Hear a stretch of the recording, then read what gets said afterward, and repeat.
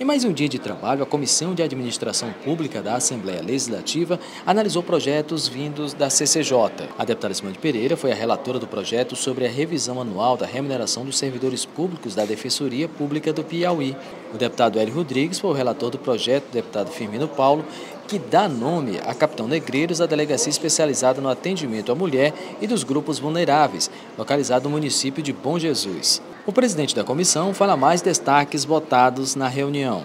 Tivemos a aprovação né, da, de um projeto de lei de, de autoria da deputada Gracinha, né, onde foi aprovada é, instituições né, de, de LGBT né, em Parnaíba, não ter preconceito. Né.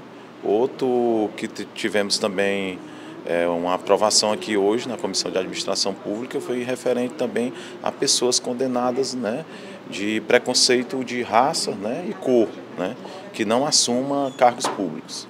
Graças a Deus a nossa demanda realmente foi quase zerada aqui né, nessa semana. Eu acho que isso é bom para os parlamentares e também para a população do estado do Piauí.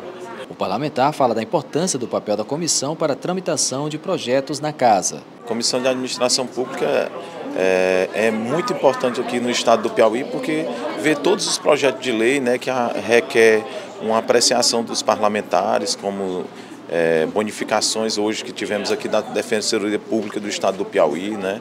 Temos também aqui várias nomeações que é dadas aqui a órgãos públicos. Né? E, e isso tem que ser revisto, tem que ser é, visto por todos os parlamentares para que a população também se sinta é, bem né, no estado do Piauí, que esse projeto não seja aprovado sem ter a, a, a aprovação dos parlamentares do estado do Piauí.